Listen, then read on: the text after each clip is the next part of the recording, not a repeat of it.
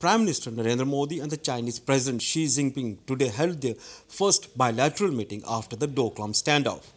The two leaders reaffirmed that maintaining peace and tranquility in the border area was a prerequisite for ties to move forward. PM Modi in his speech at BRICS had said that for creating a safer world, there needs to be organized and coordinated action on at least three issues and which include counter-terrorism and cyber security.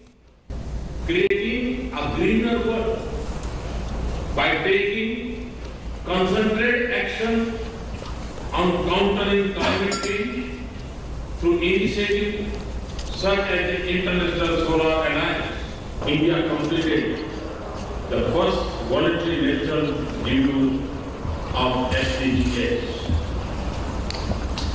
The bedrock of our development agenda lies in the notion of Sabka Saath Sabka Vikas that collective efforts inclusion growth we have met each of the S D Gs to our own development programme and scheme both at the federal level and state level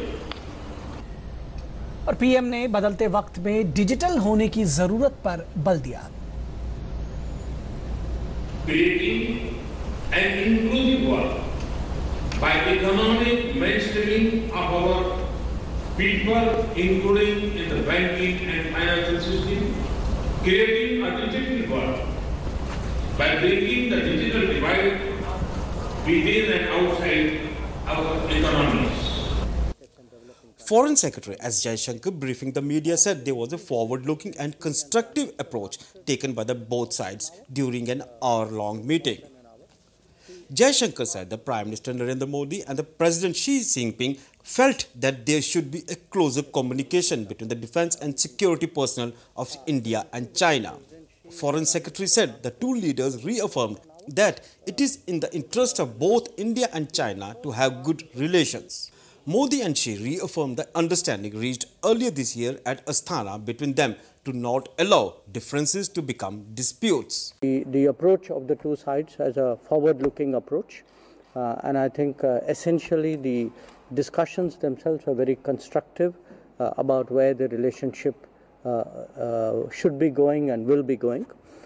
Uh, now, there was, I, I, think, Uh, uh, sort of a reminder that at Astana in early June, uh, we had both agreed that uh, we would not let uh, differences become disputes and that at a time when the world was changing, we would make sure that India-China relations were a factor of stability. So I think in many ways that was reaffirmed. Uh, uh, I, I, think, uh, uh, again, one of the important points which was made during the meeting was that uh, peace and tranquility in the border areas was a prerequisite for the further development uh, of our relationship, and that there should be more effort made to really enhance and strengthen the level of mutual trust between the two sides. Uh, there would be, you know, it is, it is natural that between neighbors uh, and large powers that there would be areas of difference. Uh, but where there is an area of difference, it should be handled with mutual respect and efforts should be made to find common ground uh, in addressing uh, those areas. Foreign Secretary said the two leaders felt that peace and tranquility in the border area is a prerequisite for ties to move forward. Uh, and specifically with regard to uh, defense, uh, that the personnel involved with defense and security must maintain strong contacts and cooperation. Uh, and uh, ensure that uh, the sort of situations which happened recently do not recur. the President and the Prime Minister again laid out a very positive view of where our relationship could go in his initial remarks during the meeting, Modi congratulated Xi on very successful BRICS summit.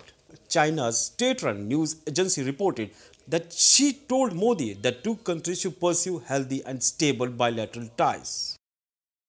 I think the uh, the counter-terrorism issues were largely taken up in the discussions leading to the BRICS uh, they were not uh, addressed uh, in today's meeting.